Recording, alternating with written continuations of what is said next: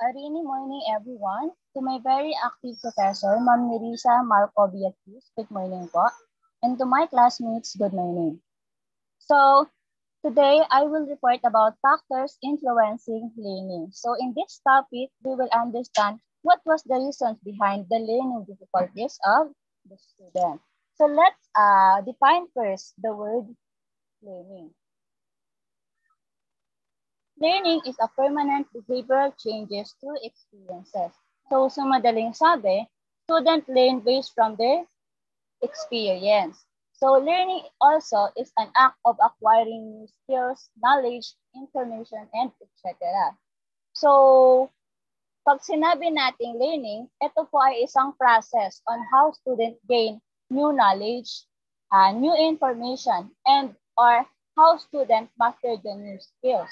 So we have here seven factors that might influence learnings of an individual. We have intellectual factors, learning factors, physical factors, mental factors, emotional and social factors, teacher's personality, and environmental factors. So let's discuss it one at a time. Intellectual factors. The term intellectual refers to the individual mental level. So, ibig sabihin, student learn according to their level. May tinatawag tayong uh, high intelligence and low intelligence. Pag sinabi natin high intelligence, sila yung mga batang fast learner. Uh, they have or they has high IQ. So they have the ability to learn quickly. While low intelligence naman po, sila naman yung mga batang slow learner. They are typically has below average intelligence. So a person of low intelligence can be referred to as a person lacking understanding, common sense, the comprehension of the thing, and ability to communicate properly. So ang low intelligence po pala ay meron siyang learning issues kumbaga, students tend to learn uh, slower. And sometimes they unable to retain what they have learned, tama? They are they are unable to apply certain learnings or concepts in different situations uh, without help. So people with low intelligence um, must uh, taught them directly. Kasi po, pag low intelligence yung bata, uh, they, uh, they are the student that find difficult to express themselves verbally and sometimes they cannot articulate easily. Kaya a student uh, with low intelligence needs someone who can guide them towards their learning. So sometimes pupils uh, do not learn because of special intellectual disabilities. So kapag naman po ang bata ay merong IB or intellectual disabilities, it is really hard for them to catch up with the lessons because limit lang po yung ability nila para matuto. So they, uh, yes, they can and do learn new skills, yet they learn more slower. Okay? So, experts state that individual uh, possess different kinds of intelligence. So, si Howard Gardner nagpropose po ng multiple intelligence. So we have nine intelligence. So what are they? So first po yung intrapersonal. So kapag po intrapersonal yung bata, they have the ability to understand one's inner feelings and self-realization. Then kapag po uh, visual or spatial yung bata, uh, student excel in shape, design, graphics, and visualization. How about yung naturalistic? Kapag naturalistic yung bata, uh, student love uh, animals, student love plants.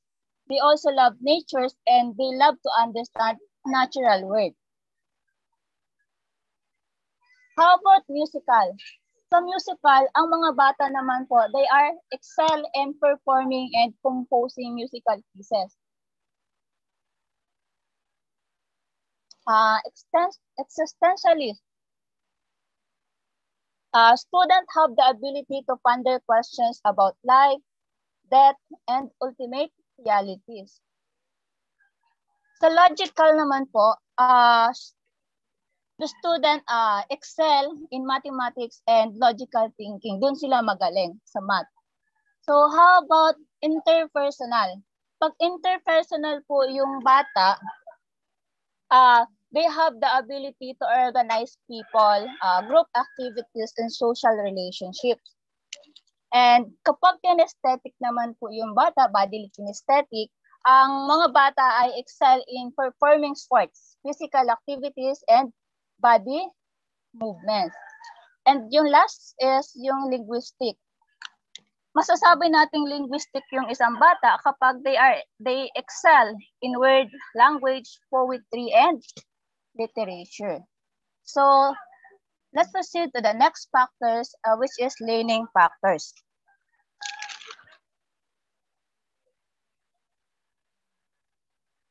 Factors owing to lack of mastery of what has been taught, faulty methods of work or study, and narrowness of experimental background may affect the learning process of any pupil. So, di there are students that find difficult to master the lessons and somehow they are unable to retain what they have learned. Tama? Uh, they will, uh, kapag po ganun yung bata, ang, ang magiging result po is based on how student interpret and respond to their experience. So like for example, sa mathematics, uh, when, when the student cannot uh, fully understand how to add numbers, we cannot uh, jump to the next lesson, which is subtraction. Bakit? Kasi dapat mamaster muna ng mga bata yung pag-add ng number bago tayo mag-proceed sa subtraction. So, kasi kung kung mag-proceed tayo sa next lessons tapos hindi naman ng bata naiintindihan yung matim yung pag-add, they struggling in adding numbers, okay, ma- mas mahihirapan sila sa subtraction. Kasi dapat bago tayo mag-proceed sa subtractions, alam ng bata how to add numbers. So as a teachers, let us help the student or teach them the simplest way uh, by adding uh, by adding numbers using their fingers or let them come let them count objects so para mas mabilis silang matututo. So Another physic another factors is about physical factors. Physical factors such as health, physical development, nutrition, visual and physical defects, and granular abnormality affects pupils' learning.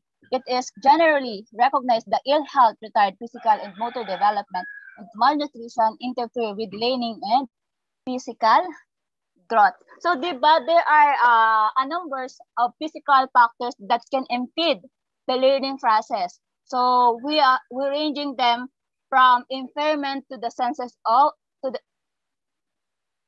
from impairment of the senses to basic nutrition that can affect or influence the student ability to learn effectively. effectively.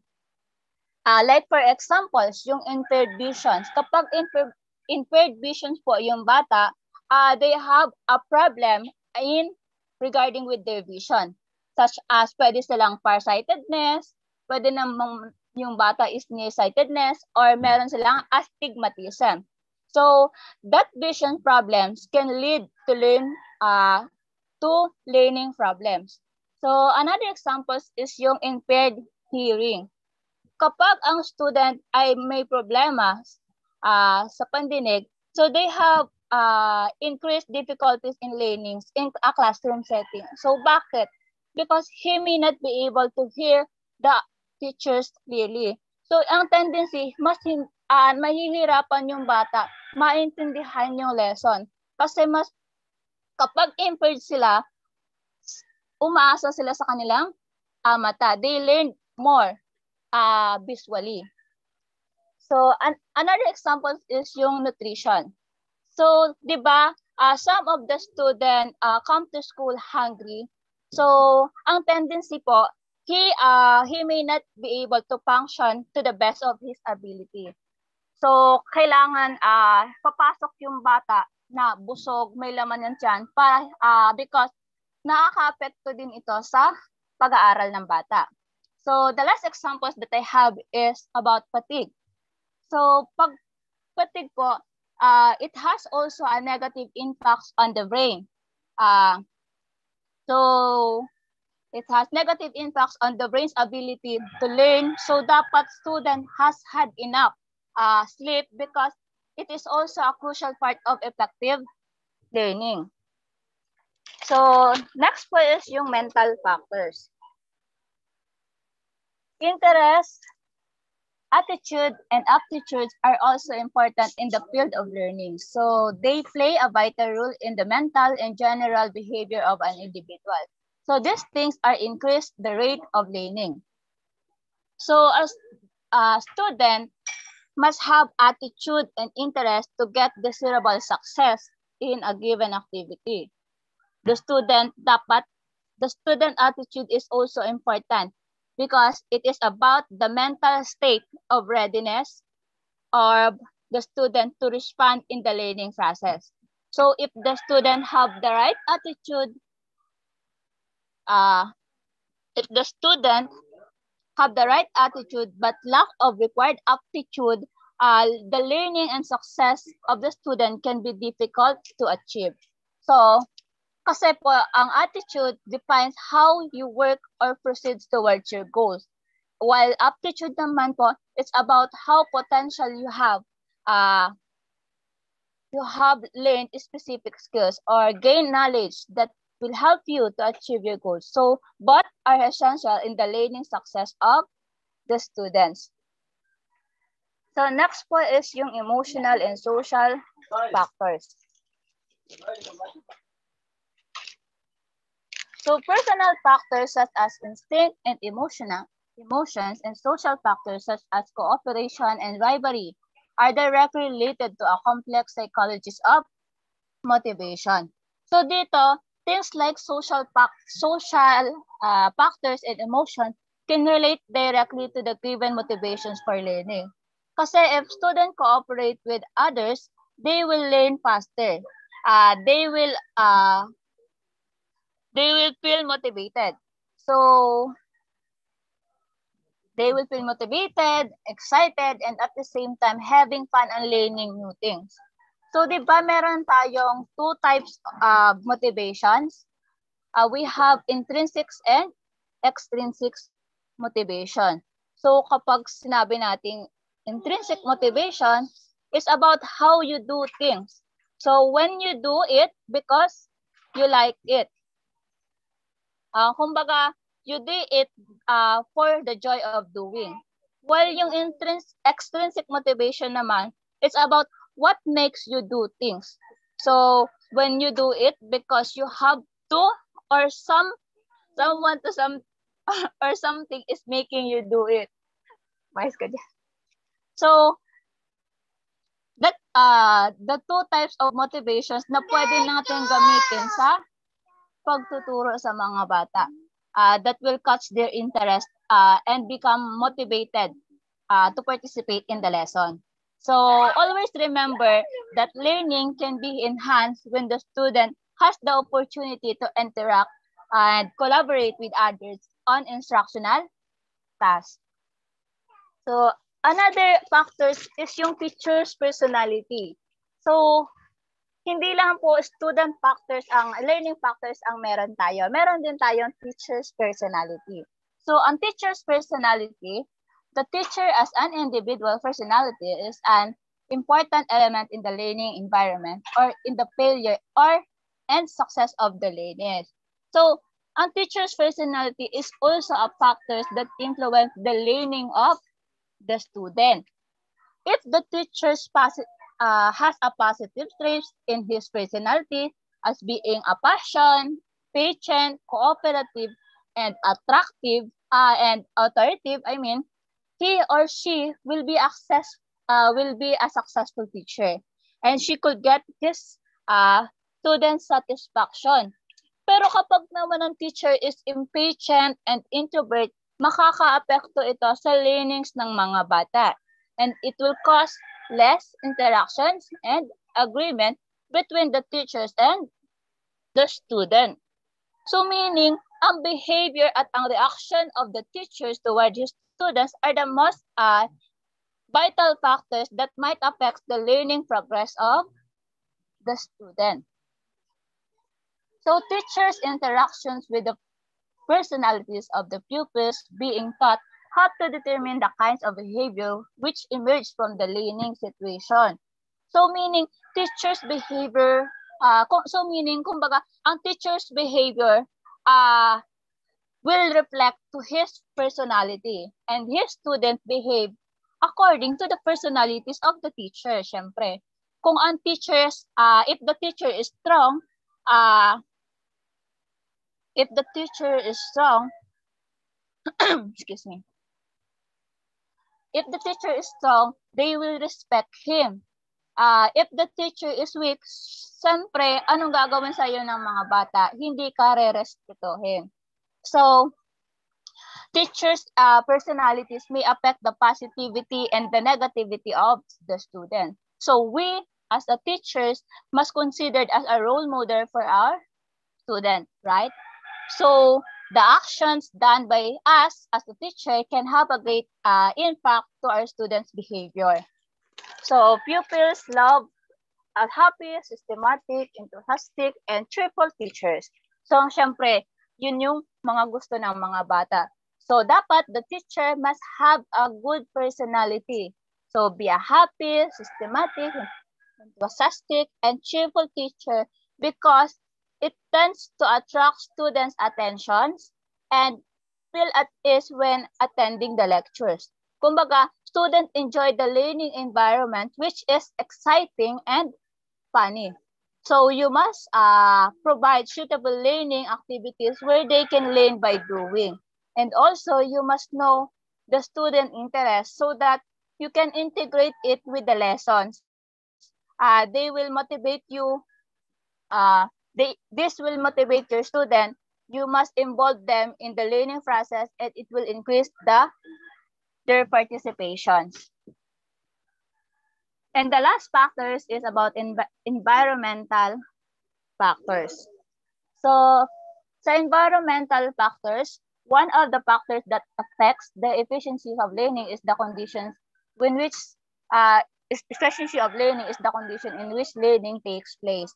So, ang the class, yung school climate, yung facilities and resources within the school uh, have a huge influence in the student learning achievements, di ba? So this includes yung classroom, yung textbook, yung equipments, yung school supplies and other instructional materials. Uh, so if the student have conducive learning, di ba pag meron tayong conducive learning, uh, which is safe and secure and facilitate and the facilities and instructional materials are provided, uh, provided, it will result to a positive uh, influence on the student academic performance. So to end my discussion, uh, I believe that learning is not a product of teaching.